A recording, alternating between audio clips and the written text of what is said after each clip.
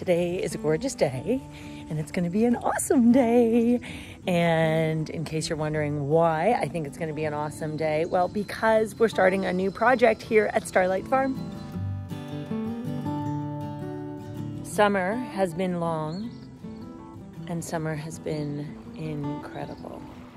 But fall is here and that means back to the farm. Oh, there's a plane overhead, but that's not Alex. He's working at the cottage still. yeah. Uh, we have projects ongoing. We'll tell you more about that another time. But here I am. I am at the farm and I am getting ready for one of my favorite things of the year, Friendsgiving. And we have this amazing barn, which you watched us build. And today we're gonna start making some changes to the barn. New project, come inside.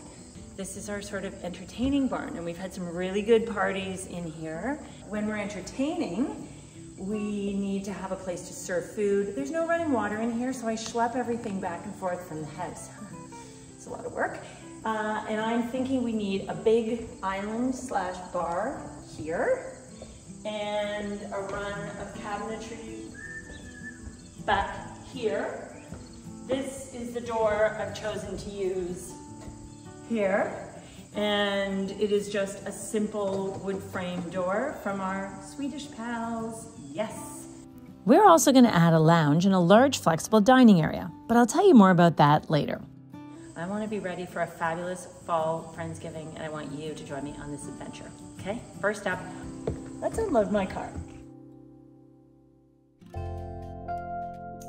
It's going to be a super busy day. So I am currently parked um, beside Georgian Bay and I'm just about to quickly do my makeup because I am one of those people that does not feel ready to conquer their day until I've done my makeup. And um, I tell you, I've done this a number of times. I also have a new product collaboration that I am going to tell you about while I do my makeup super fast. Have you ever heard of Merit, Merit Beauty?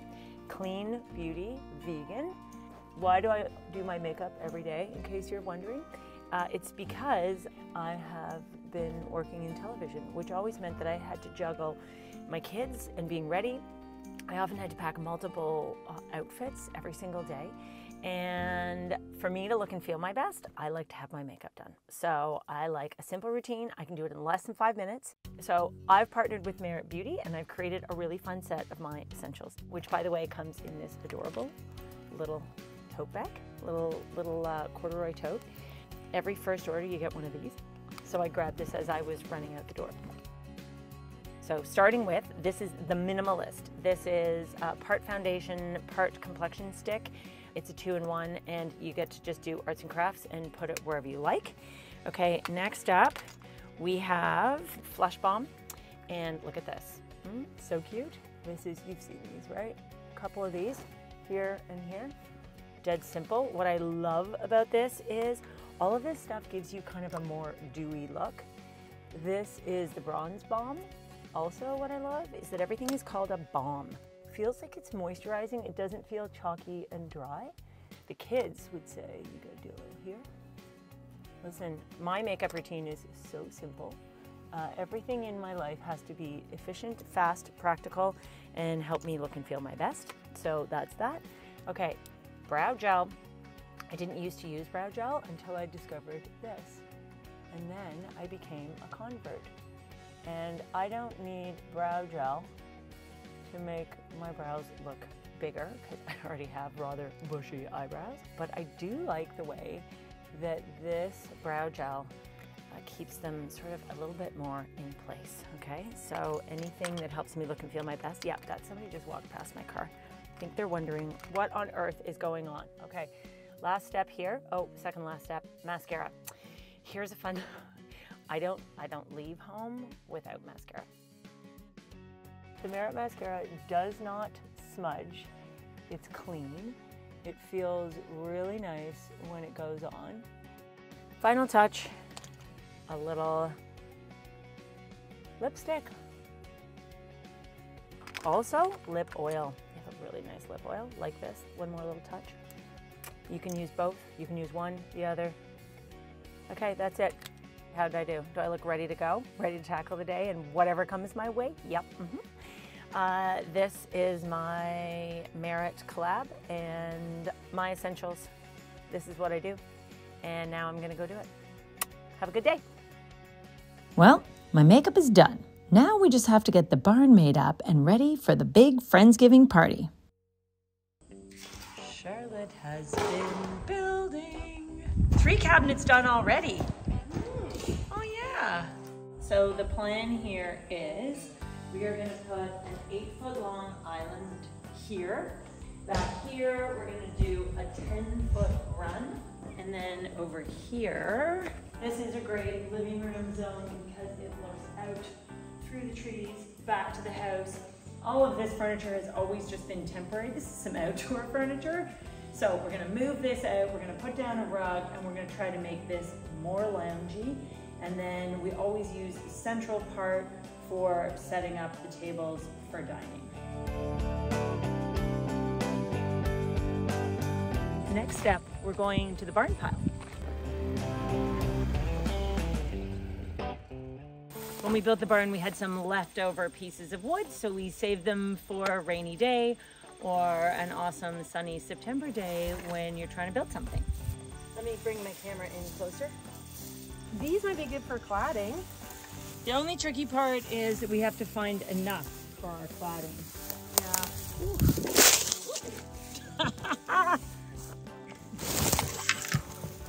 well, there's the challenge of make your own TV in a field. My tripod just fell right over.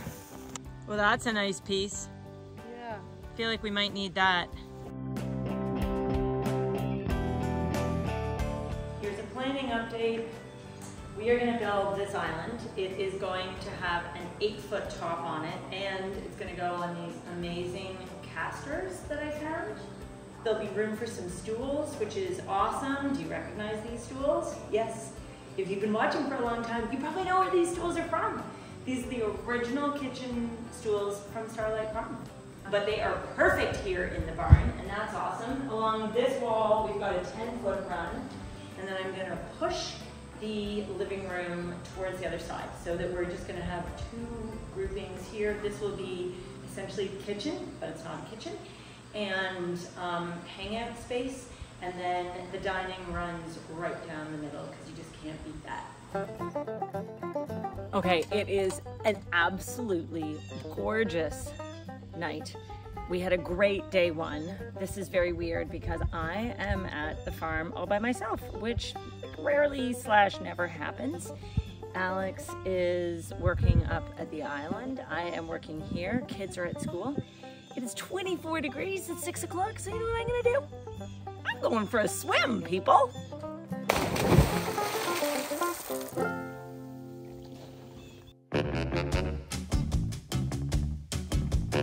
How's it going? Oh, look at that! Yeah. Those butcher block countertops that were over there. Thankfully, Ed, our wonderful contractor, who's doing something else on the property right now, helped me this morning. They put them on the Ranger and we backed them up here. Down there, you can see my truck. It's full of goodies that we just pulled out of storage. I know most people don't have um, tons of extra furniture in storage, but when you're me, you do, because when you stop using something, you don't want to get rid of it. You save it for a rainy day or a beautiful sunny day when you decide instantly that you need to furnish your barn. And then we are going to take this top and we are going to fit it. Okay. I love these countertops. One, two, three. And then we grab it. Oh, This- it's oh yeah, that's good. This is too nice for a barn. Maybe we turn it around. You don't want the logo? Is that logo supposed to be there? Is it one on each side? Everybody's gonna wanna know where these are from. This company's called Global Industrial. This is amazing because it is inch and a half thick, solid maple. It comes finished, so you don't have to finish it yourself. I think they're great quality and great value for the price. I'll show you our sink. Check this out.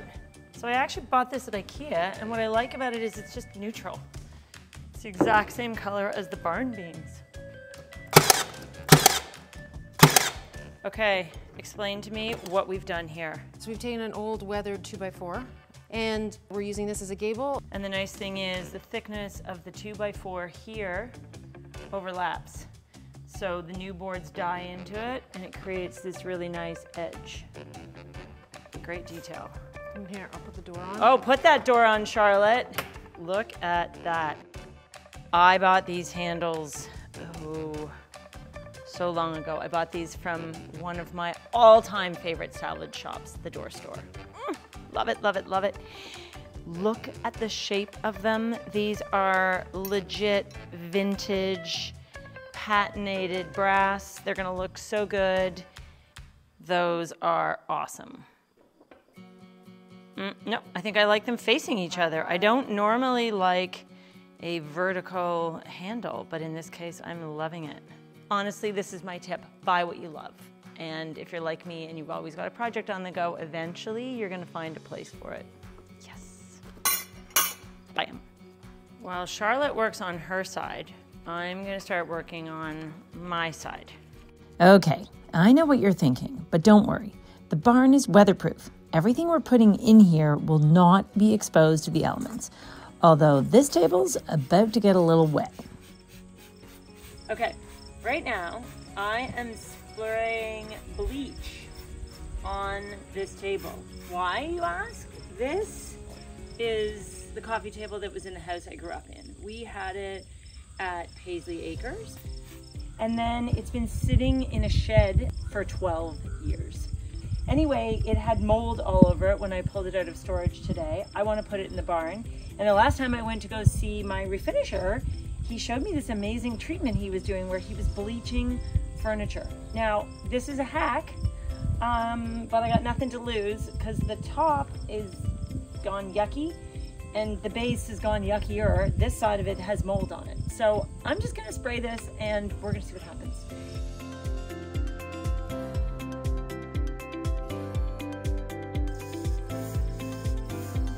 Look. Ew! Next, I'm gonna take you to my hydrangeas. We're gonna cut some hydrangeas.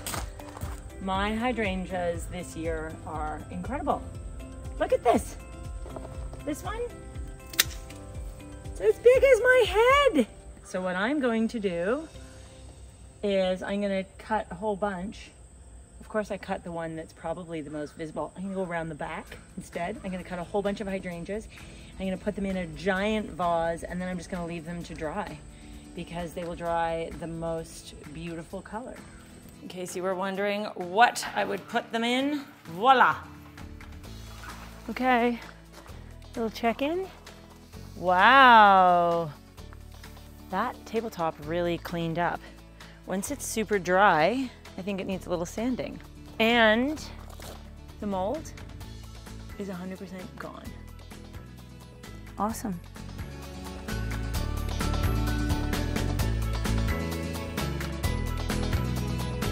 Look at this. Charlotte did an awesome job and then look, she left and five minutes later I had it messed up because I am about to put stuff away in these cabinets. Look, I now have all this storage. And what's great is this island is flexible and movable. Our big island top came without any finish on it, which was a surprise to me because the other counter came urethaned. So I've given everything a light sand and I am now going to try this triple thick one coat clear finish urethane, uh, which completes projects three times faster. Okay, if you know me, you know I like everything done faster. So three in one, yes please. Let's see how this works because I have never tried it before. Here we go. I'm gonna give it a little wipe with a damp cloth. Maybe the balloon sleeve and the tasseled fringe on today's blouse choice is not super well intended for painting.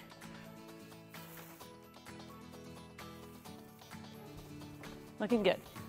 I'm sorry, I'm pretty sure we have a rain delay. I'm currently stuck in the barn and I'm worried that perhaps there are windows open in the house. Uh-oh.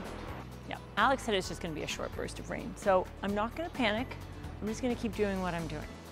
I wanna talk to you about this. What you have to remember is this is not an unlimited budget design project. This is a work with what you've got. This is how do you take a rustic space and make it look and feel better. So before I invest in new furniture, I'm trying to work with all the stuff, all the treasures I had in storage and make them work.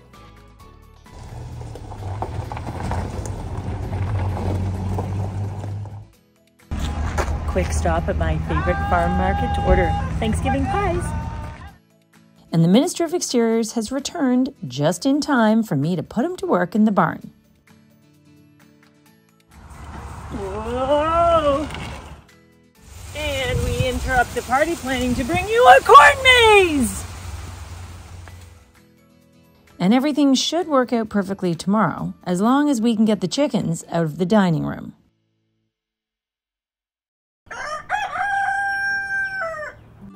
It's a beautiful fall day.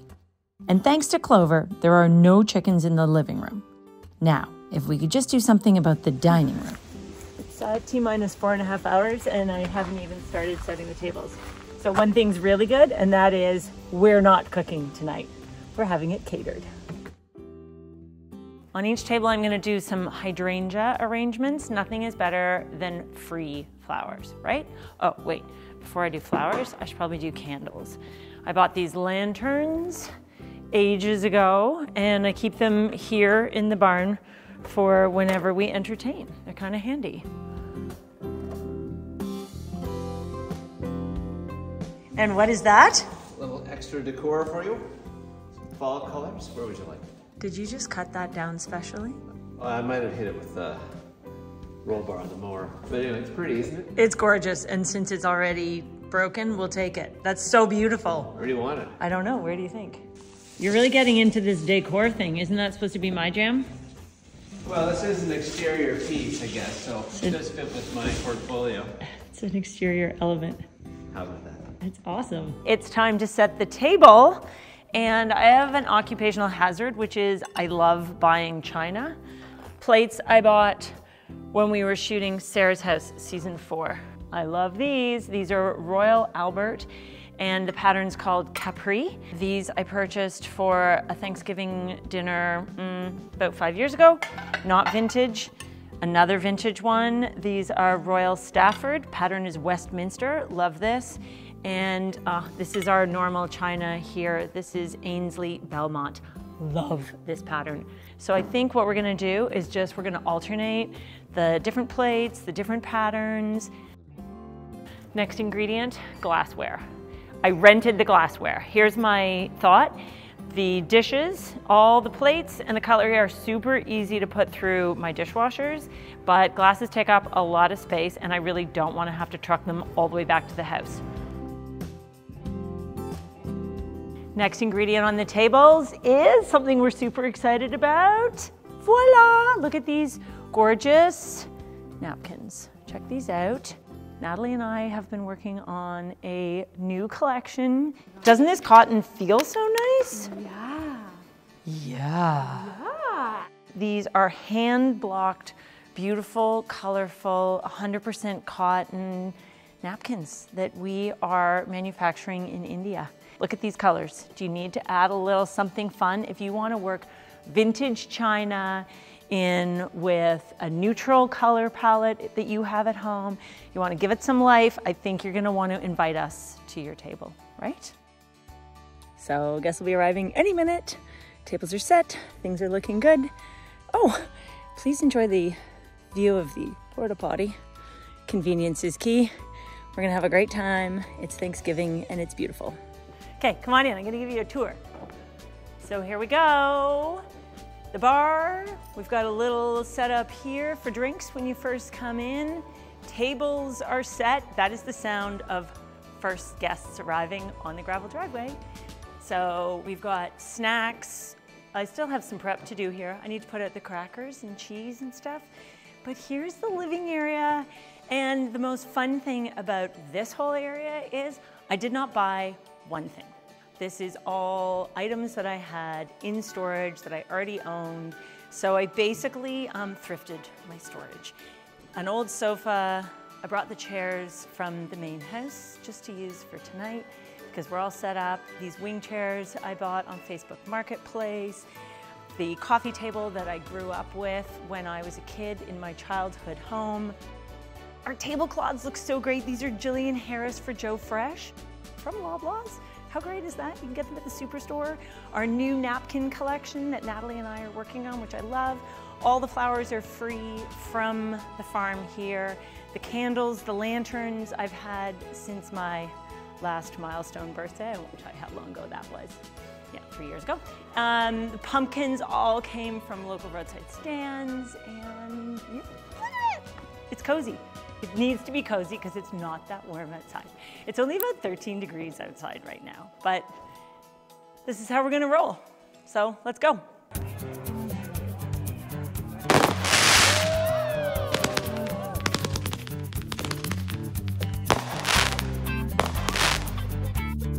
Thanks for watching. Don't forget to subscribe, hit the bell for notifications, and leave me a comment below. Let me know what kind of content you're looking for. Bye for now.